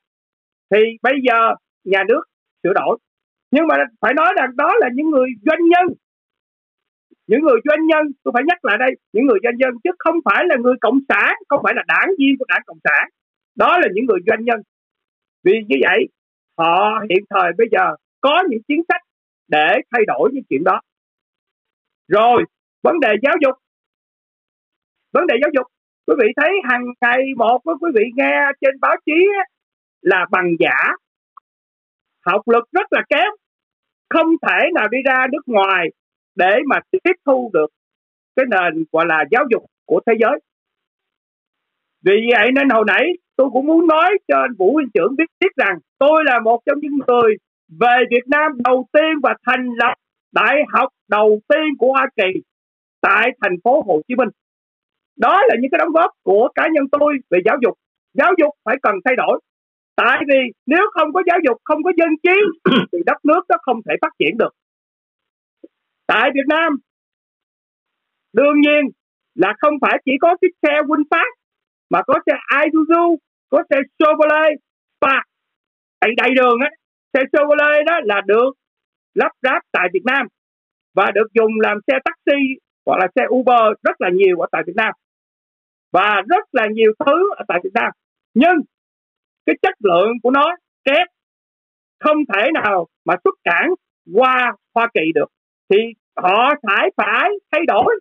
Những cái chuyện đó tôi đồng ý. Chất lượng phải được thay đổi. Tại vì ở bên này á, khi mà hàng ra đó, thì nó có một cái bộ phận là để coi cái chất lượng, tức là quality control QC nhưng Việt Nam không có cái đó. Việt Nam không hề có cái đó và không có những người đi học về cái đó. Vì như thế, càng ngày càng phát triển. Mình phải thấy rằng, thứ nhất là muốn dân trí cao muốn phát triển thì phải có giáo dục. Tuy vậy giáo dục là điều quan trọng đối với cá nhân tôi không phải là chính trị. Giáo dục có giáo dục có dân trí thì kinh tế mới khác. Như tất cả mà anh Hà Văn Sơn mới đề cập tới hàng máy mặt, tại vì chúng ta chỉ có chuyên môn về cái đó thôi. Chúng ta không phải là một quốc gia mà chúng ta là quốc gia đầu tiên á, là quốc gia nông nghiệp chứ không phải là quốc gia sản xuất kỹ kỹ kỹ thuật và công nghệ. Vì như vậy cái công nghệ của mình còn thấp kém lắm. Ngay cả chúng tôi làm việc ở tại những công ty ở tại Mỹ nè. Họ cũng lắp ráp vậy. Họ cũng đem những đồ của những nước khác. Hãng compact khi mà tôi đặt chân vào tôi làm việc. Hãng TI tôi vào tôi làm việc. Cũng là những cái hàng của nơi khác đem về rắc rác ra thành cái cái cái cái, cái món hàng đó. Vì như vậy Việt Nam nhìn thấy cái đó. Thì à, đến à, câu hỏi dành à, cho riêng ông Vũ Huynh trưởng thì cũng tương tự như là cái câu hỏi cho nhà báo Hà Văn Sơn. À, từ đầu chương trình giờ thì ông nói cái quan điểm của ông à, là cái quan điểm riêng của ông. À, tuy nhiên nếu để được hỏi ông là nếu mà có hay không những cái điểm mà Việt Nam tốt từ à, những năm gần đây đó cái sự phát triển của đất nước hay bất cứ cái điều gì mà ông cảm thấy là tốt mà ông à, không ngần ngại có thể nhìn nhận là cái điều đó là họ làm tốt đó thì ông có thể uh, cho biết uh, lúc này ạ. Nếu mà hỏi rằng là bây giờ người cộng sản làm được gì tốt hay không thì tôi thấy là không làm được. Không thấy người cộng sản làm cái gì tốt cho người cho đất nước.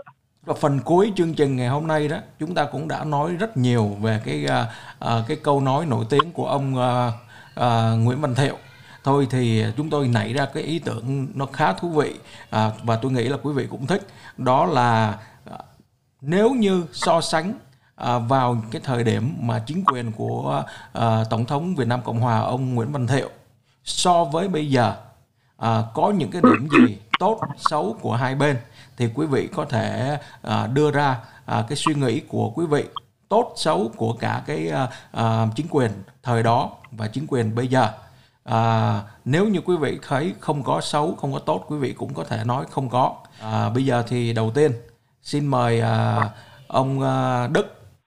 Thứ nhất là cảm ơn anh Derek đã có cái câu hỏi đó.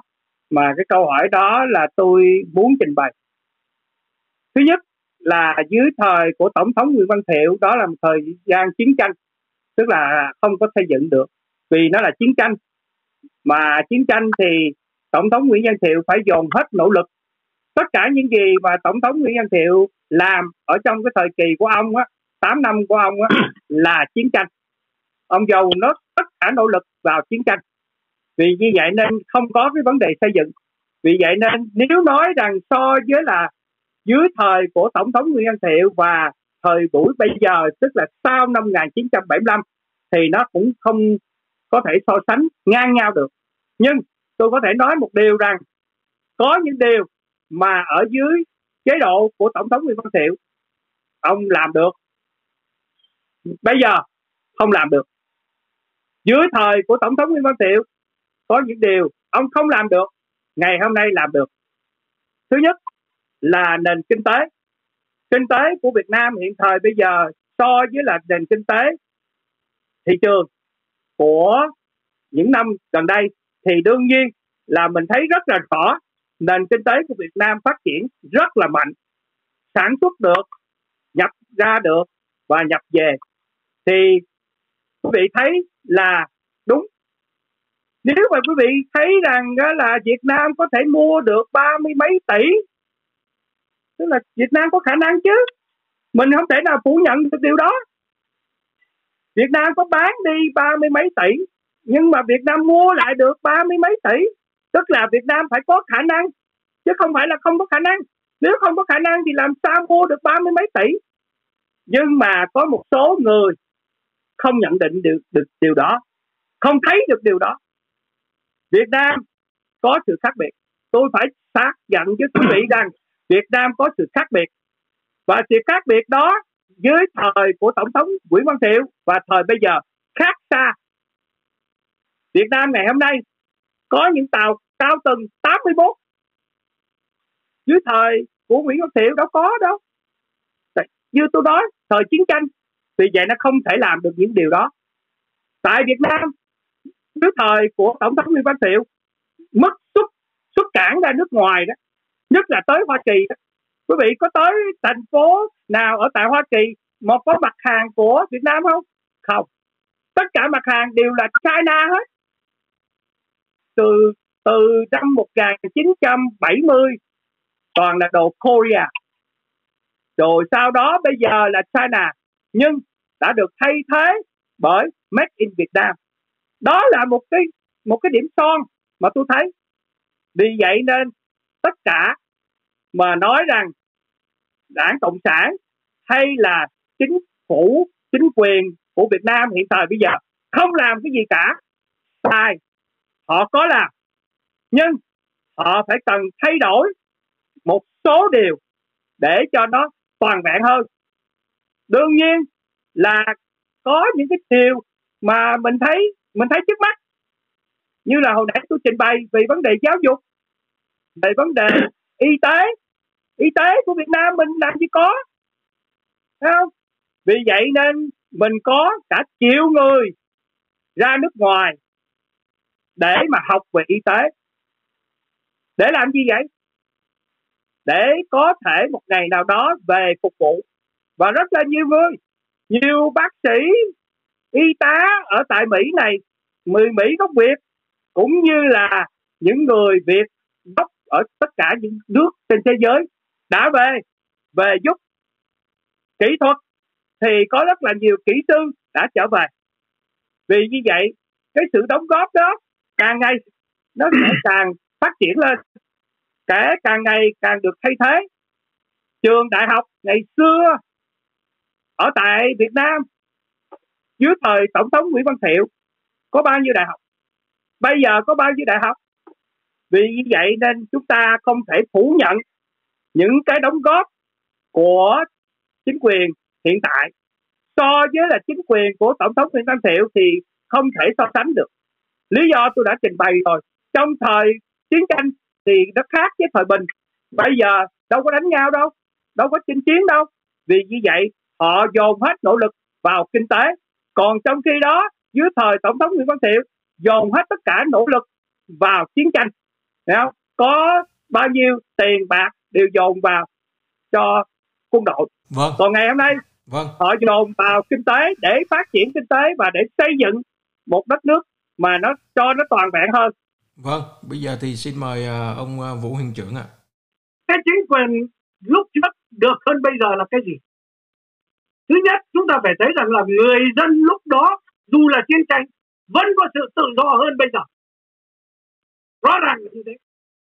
Còn bây giờ đó dù là đã thời bình nhưng mà người dân đó thở ra mà chê bai vấn đề thấy rằng là nhà nước những cái bộ phận của những người chính quyền xã ấp thôi mà làm những cái gì mà không ấy chê bài một cái là gõ cổ vào tù đấy gõ cổ vào tù đấy thế thì hòa bình rồi mình làm những cái điều sai, những cái điều không đúng, người ta chê là bắt cùm, ai dám nói nữa.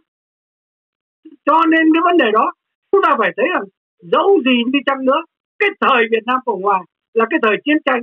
Việt Cộng rất là cài rất là nhiều gián điệp, cài rất là nhiều tên nằm vùng nhưng mà vẫn được tự do hơn bây giờ. Cái đó là phải chấp nhận thực tế. Vâng. Chứ không có thể chối cái được. Vâng bây giờ thì đến à, nhà báo Hà Văn Sơn ạ.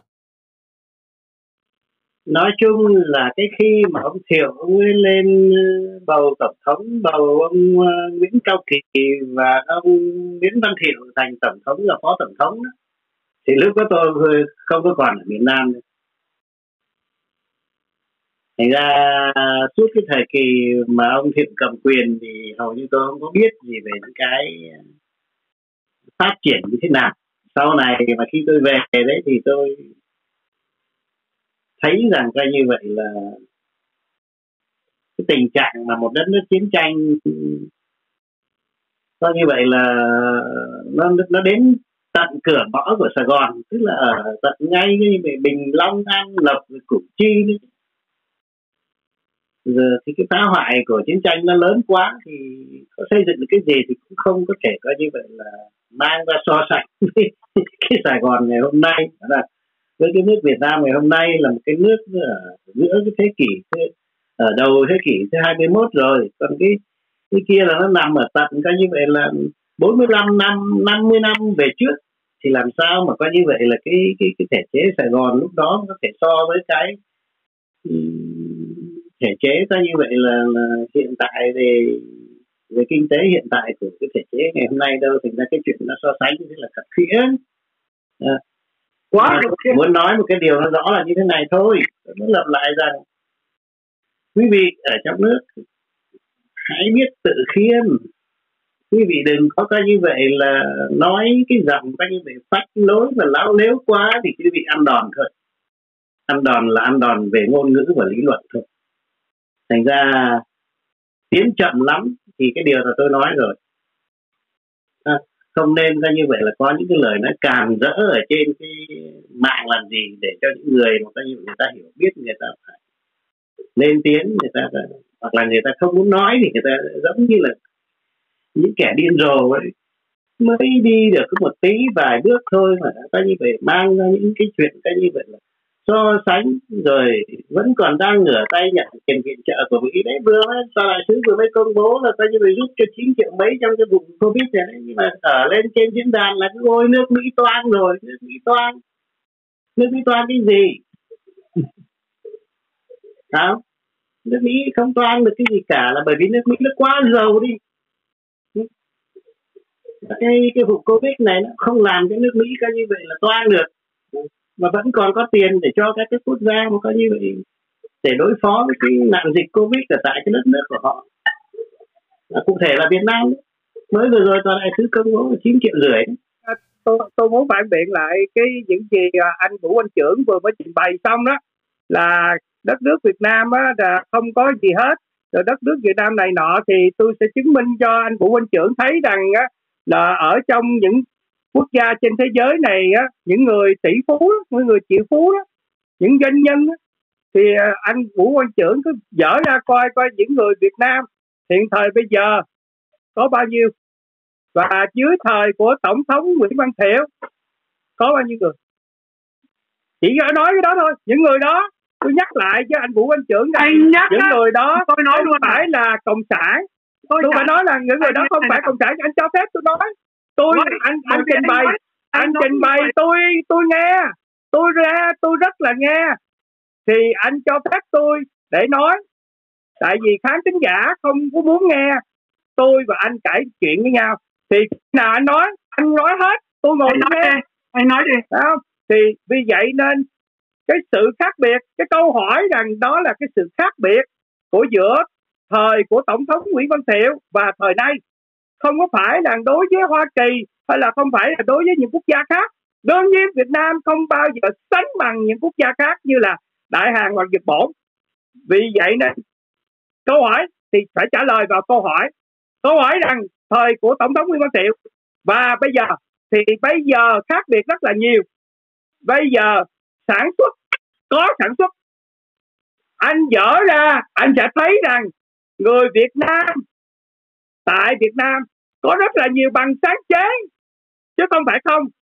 Nhưng Việt Nam chưa đủ, tôi đã nói nhắc lại rằng Việt Nam chưa đủ tầm để mà phát triển như là những quốc gia đã phát triển rồi. Nước Việt Nam là nước đang phát triển, chứ không phải là nước Việt Nam là nước đã phát triển. Vì vậy chúng tôi chưa, chúng ta chưa có cơ hội. Vì vậy nên một số người người Mỹ gốc Việt và người người, những người ở những quốc gia khác đem những cái trí tuệ về Việt Nam. Trước thời của tổng thống Nguyễn Văn Thiệu, vì lý do là là đi lính. Về đó là trong tuổi là phải đi lính. Vì vậy nên không ai muốn về để đóng góp cho đất nước. Nhưng ngày hôm nay không phải như vậy nữa. Ngày hôm nay nó khác biệt. Vì vậy nên đất nước cần cần cái gì? Không phải là cần con người, mà cần cái trí tuệ. Vì như vậy, mình phải xác nhận, mình, nhất là anh anh trả lời câu hỏi, anh phải trả lời vào câu hỏi của anh Derek. Vì vậy nên tôi muốn phản biện rằng, vì vấn đề rằng anh rất là tiêu cực, anh rất là không đồng ý bất cứ cái chuyện gì mà nói tới gọi là cộng sản đó, là anh phản đối. Nhưng mà tôi nói cho anh nghe. Anh không phải anh nói với tôi. Anh ở đây đây anh không phải anh nói với tôi. Anh Derek Phạm mời anh lên đây anh là một khách mời cũng giống như tôi.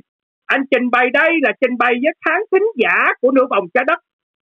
Anh đưa ra những vấn đề thì anh phải đưa ra chứng minh. Anh phải thuyết phục. Anh không nên cãi với tôi.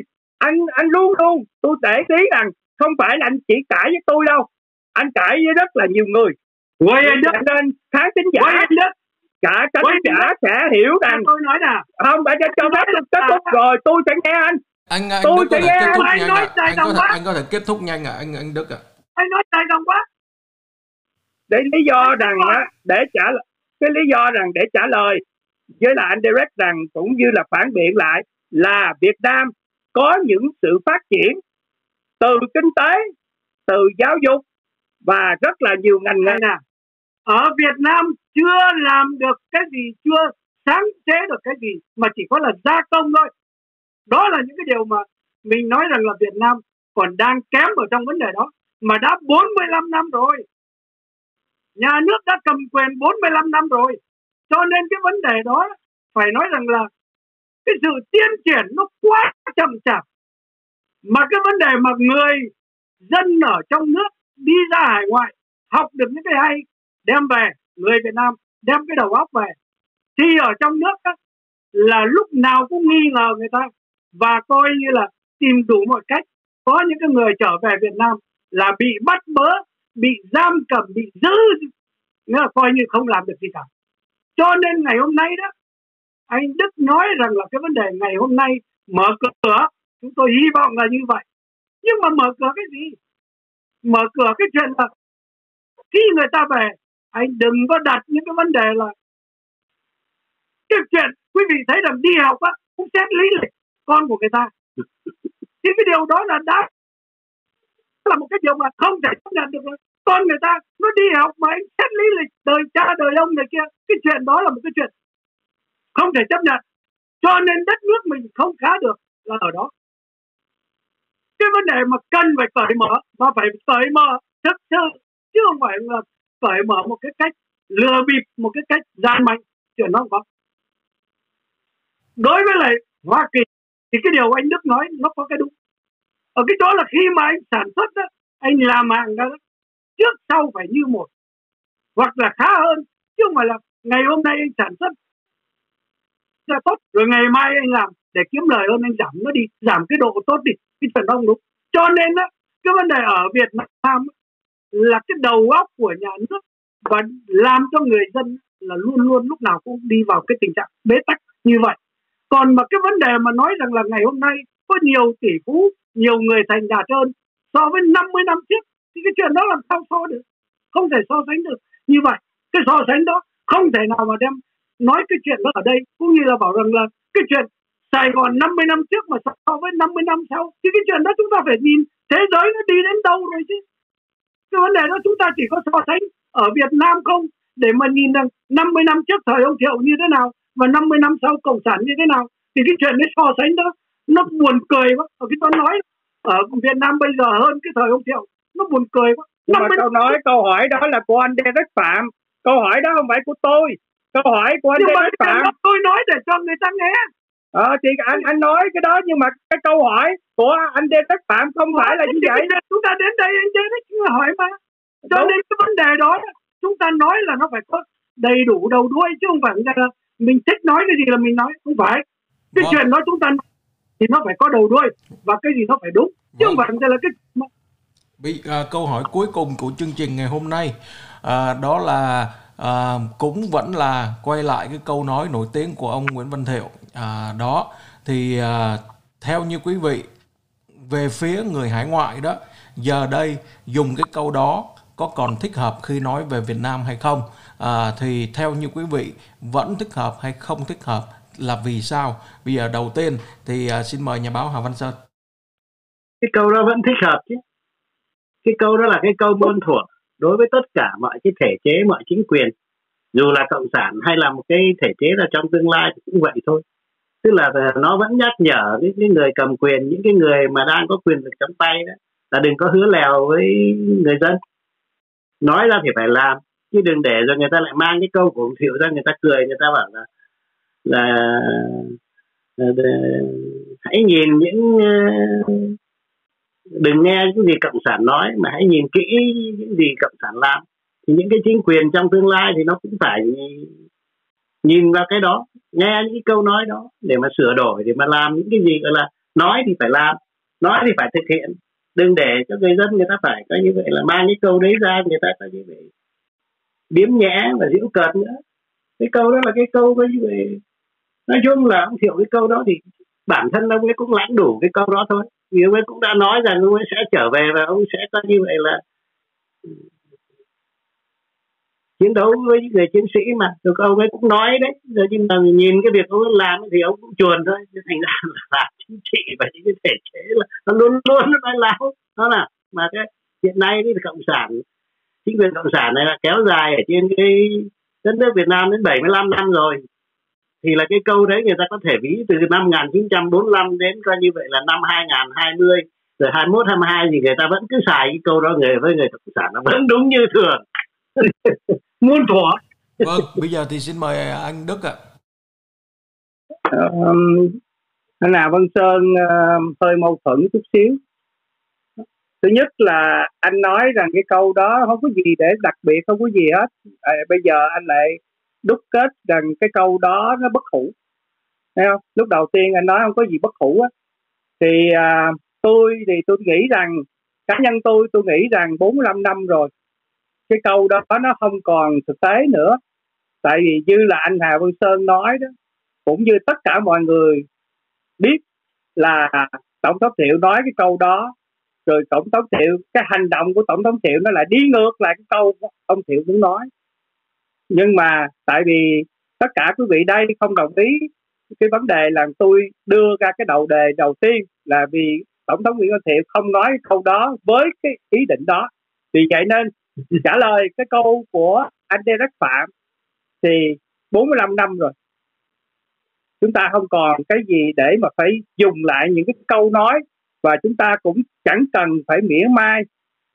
Cộng đồng ở tại hải ngoại này phát triển phát triển rất là mạnh. Tôi phải nói là phát triển rất là mạnh. So với những gì của năm 1963 khi mà có cuộc đảo chánh, rồi tổng thống trở thành tổng thống Nguyễn Văn Thiệu. Tới năm 1975 tổng thống Nguyễn Văn Thiệu ra đi. Thì những cái câu của những người mà ở dưới thời ông Thiệu hay là cá nhân của tổng thống Nguyễn Văn Thiệu nói, nó không còn hợp thời lắm. Mỗi thời gian qua đi thì nó phải thay đổi. Có những câu nó là như đinh đóng cột nhưng có những câu nó không là gì cả, nhưng người ta cứ dùng nó để mà thiêu dệt hoặc là mượn câu nói đó để đặt đầu của câu chuyện. Vì như vậy, để đúc kết thì để mà chương trình của chúng ta thì tôi mong rằng tất cả quý khán thính giả của nửa dòng trái đất hãy nhìn nhìn vào sự thật. Mình đừng nhìn vào cái câu nói mình đừng nhìn vào những gì của một con người làm, mà hãy nhìn cái tổng thể của đất nước Việt Nam ngày hôm nay. Đất nước Việt Nam ngày hôm nay, đương nhiên, như là anh Vũ huynh trưởng nói, có những cái xấu, tôi không phủ nhận. Tôi chưa bao giờ phủ nhận điều đó. Có những cái xấu, và những cái xấu đó phải được thay đổi.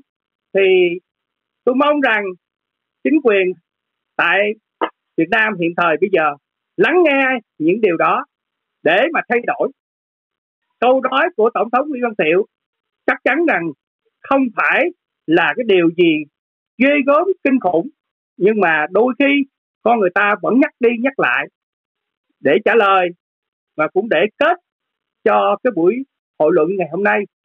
Thì cái câu đó nó không là cái gì cả và đã theo thời gian thì có lẽ rằng nó đã phai nhạt rồi cá nhân tôi thì có lẽ rằng tôi biết chứ còn tới với là những người em tôi hoặc là con tôi hay là cháu tôi mà nếu nói ra cái câu đó đó nó không biết nó không biết câu đó.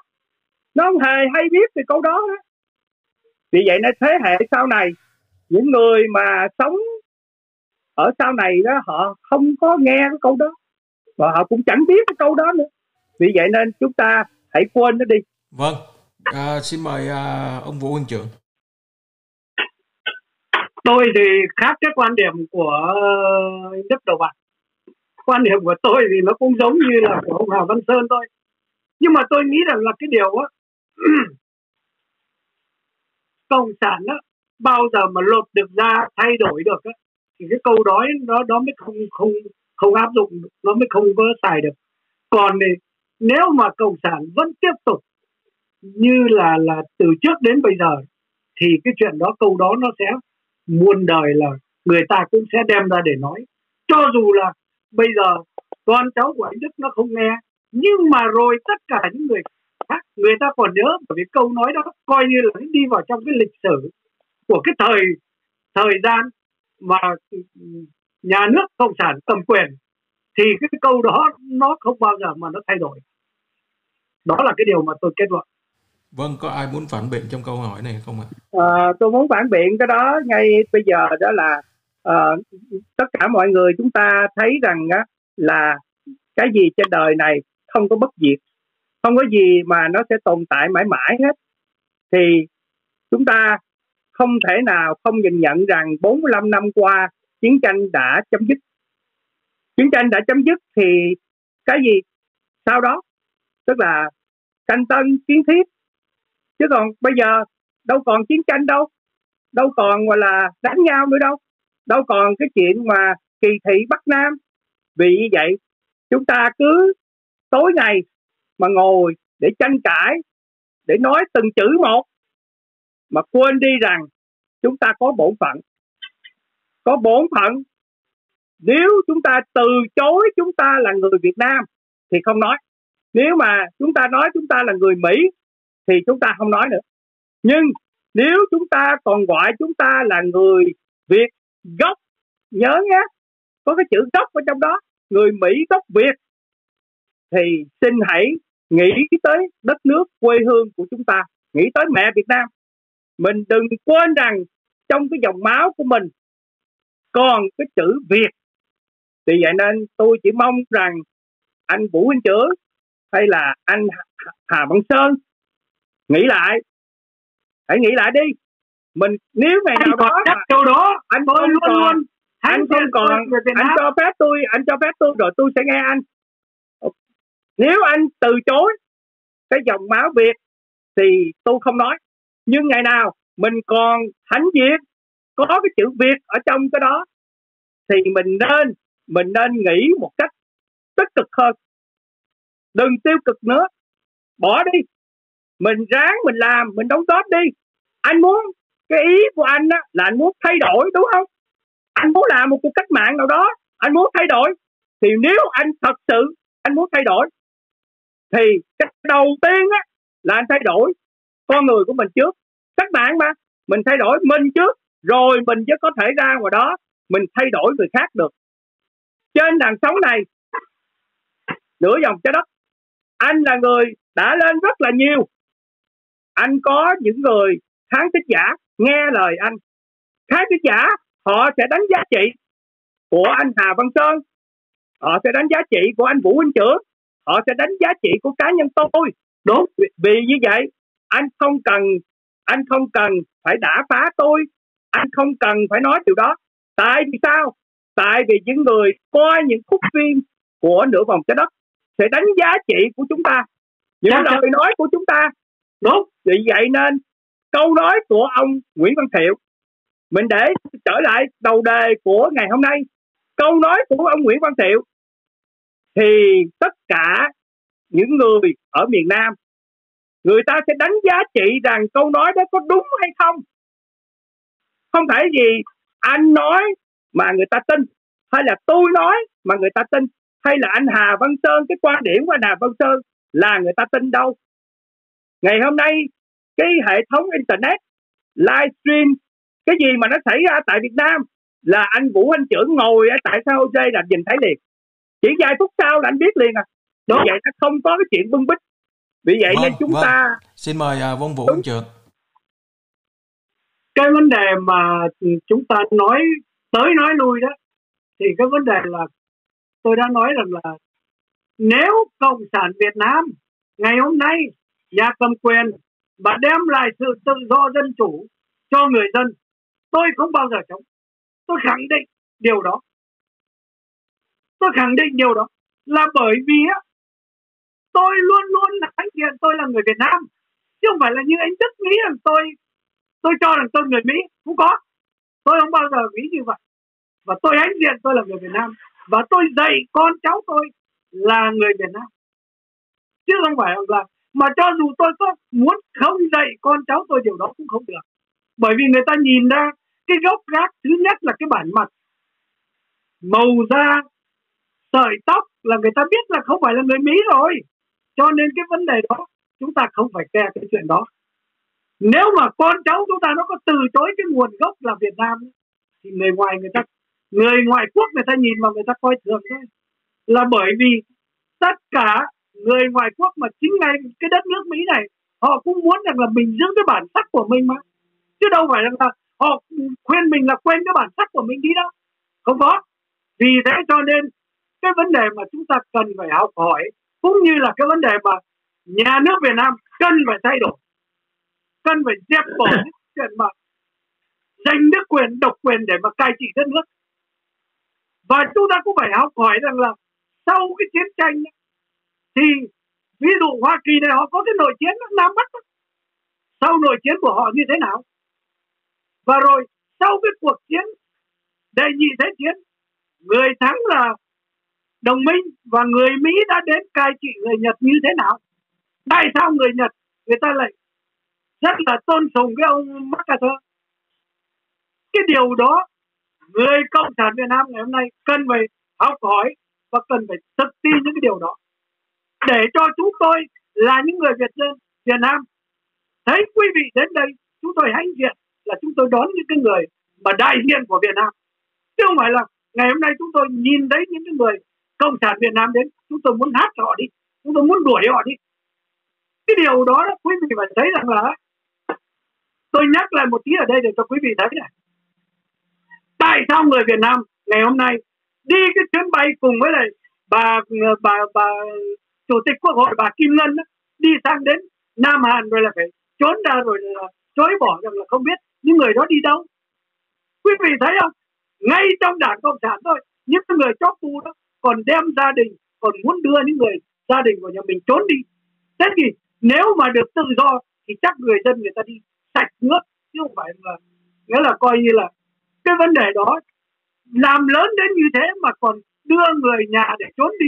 Thì tôi hỏi quý vị cái đất nước cái là làm sao? Vâng. Người dân chỉ vì không thể nào mà bỏ đi được người ta đành phải ở lại. Và đành phải ở lại phải vui với cái đời sống đó. Cho nên cái điều đó là cái điều nhà nước Việt Nam cần phải nhìn lại chính họ.